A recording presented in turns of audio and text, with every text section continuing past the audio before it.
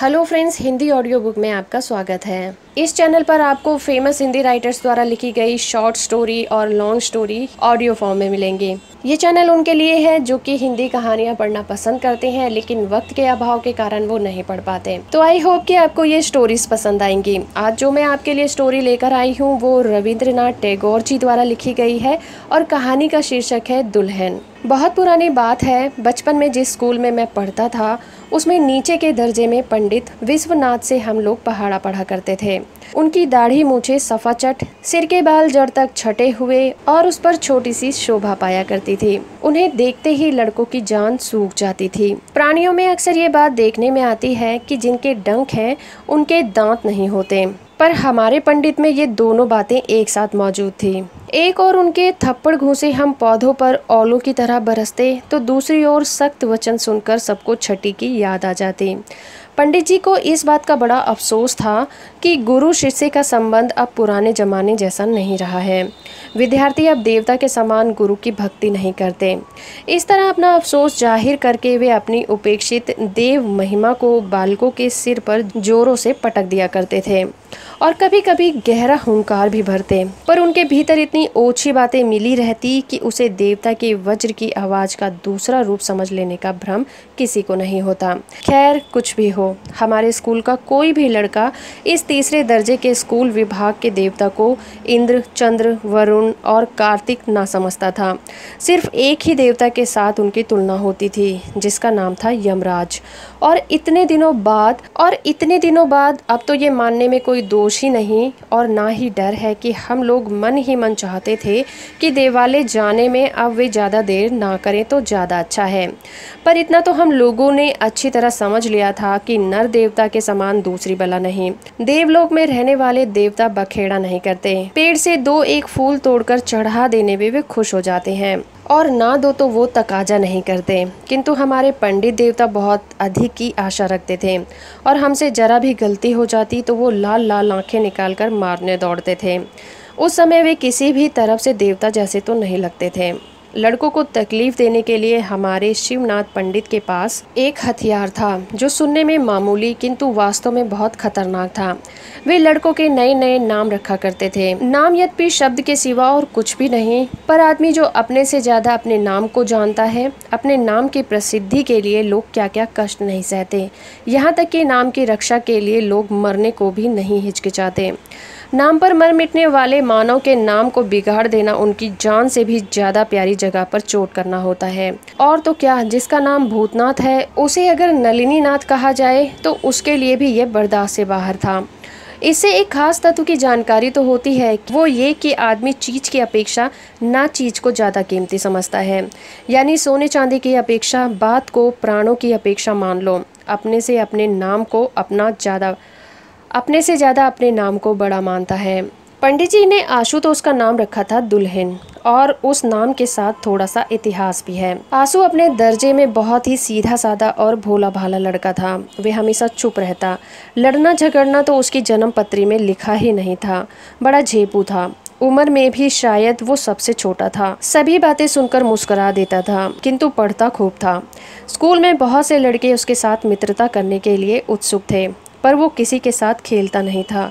छुट्टी होते ही तुरंत फुर, छुट्टी होते ही तुरंत घर चला जाता था। दोपहर को एक बजे के करीब उसके घर की महरी एक दोने में कुछ मिठाई और छोटे से गिलास में पानी लेकर आया करती थी। आँसू को इसके लिए बड़ी शर्म मालूम होती थी। वो सोचता कि महरी किसी तरह से घर लौट जाए। वह नहीं चाहता था कि इस बात को कोई जाने कि स्कूल के छात्र के अलावा वो भी कुछ है। मानो उसके लिए वो बहुत ही छिपाने वाली बात थी कि वो घर का कोई है, अपने माँ बाप का लड़का है भाई बहनों का भाई है। इस विषय में हमेशा उसकी यही कोशिश रहती कि कोई लड़का उसकी कोई बात ना जान ले। पढ़ने लिखने में उसकी कोई गलती नहीं होती थी, सिर्फ़ किसी किसी रोज स्कूल आने में जरा देर हो जाया करती थी। शिवनाथ पंडित जब उससे कारण पूछते तो उसका कोई सही उत्तर नहीं होता था। इसके लिए कभी कभी उसे बड़ी फटकार सहनी पड़ती थी। पंडित जी उसे घुटने पर हाथ रखकर पीठ नीची करके दलान की सीढ़ियों पर खड़ा कर देते थे और चारों दर्जों के लड़के उस झेपू लड़के को उस हालत में देखा करते थे।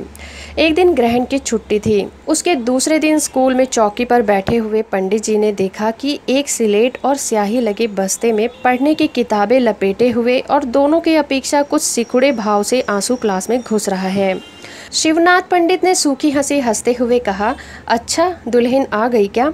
पढ़ाई खत्म होने पर छुट्टी होने से पहले उन्होंने सब लड़कों को संबोधन करके कहा, सुनो रे, सब कोई सुनो। पृथ्वी की समूची मध्याकर्षण शक्ति जोरों से बालों को नीचे की ओर खींचने लगी। फिर भी छोटा सा आँसू अपनी बेंच पर, धोती का एक छोर और दोनों पैर लटकाए हुए सब लड़कों को लक्ष्य स्थल बना बैठा रहा। अब तक तो आँसू की काफ़ी उम्र हो चुकी होगी और उसके जीवन में बहुत से भारी भारी दुख सुख और शर्म के दिन भी आए होंगे। किंतु उस दिन के मासूम दिल के इतिहास के साथ और किसी दिन की तुलना नहीं की जा सकती। हालाँकि बात बहुत छोटी सी है और दो शब्दों में ख़त्म हो जाती है। फिर भी ये मानना ही पड़ेगा कि उसमें एक रहस्य है। आँसू की एक छोटी बहन थी। उसके बराबर की कोई साथिन या बहन ना थी। इसीलिए वे आँसू के साथ ही खेला करती थी।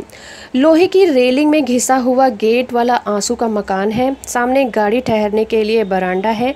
उस दिन खूब वर्षा हो रही थी। जूते हाथ में लिए, सिर पर छतरी ताने, जो दो चार आदमी सामने से आ जा रहे थे। उन्हें किसी भी तरफ़ ताकने की फुर्सत नहीं थी।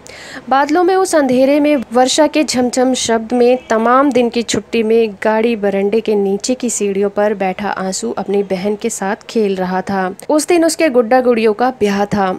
उसी की तैयारी के बारे में आँसू बहुत ही गंभीरता के साथ अपनी बहन को उपदेश दे रहा था। सवाल ये था कि पुरोहित किसे बनाया जाए? बालिका चट से दौड़ी गई और सामने खड़े एक आदमी से पूछने लगी, क्यों जी, तुम हम लोगों के पुरोहित बनोगे? आँसू ने पीछे मुँह फेर कर देखा तो शिवनाथ पंडित अपनी भीजी छतरी समेत पानी में तरबतर बरामदे में खड़े हैं। रास्ते में जा रहे थे, वर्षा ज़्यादा होने से वो वहाँ ठहर गए। बालिका उनसे पुरोहित बनने के लिए आग्रह कर रही थी। पंडित जी को देखते ही आँसू अपने खेल और बहन दोनों को छोड़ छाड़ छाड़कर दौड़कर मकान के अंदर भाग गया।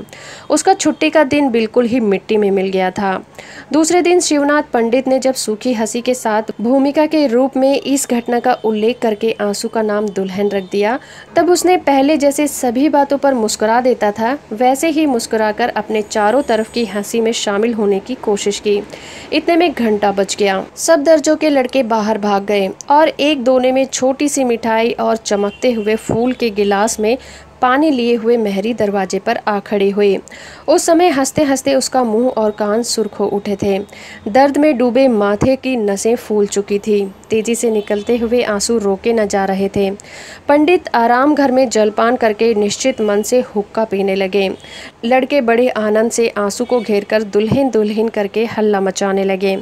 छुट्टी के दिन का अपनी छोटी बहन के साथ खेला हुआ वो खेल आँसू की नज़र में अपने जीवन का सबसे बढ़कर शर्म से भरा भ्रम मालूम होने लगा। उसे विश्वास ही ना हुआ कि दुनिया में लोग उस दिन की बात को भूल जाएँगे। तो फ्रेंड्स, अभी आपने सुना रविंद्रनाथ टैगोर जी द्वारा लिखी गई कहानी दुल्हन। आई होप कि आपको ये वीडियो पसंद आया होगा। अगर आपको ये वीडियो अच्छा लगा है तो इस चैनल को लाइक और शेयर ज़रूर करिए। और चैनल पर नए आए हैं, अभी तक सब्सक्राइब नहीं किया है तो इसे सब्सक्राइब भी कर लीजिए।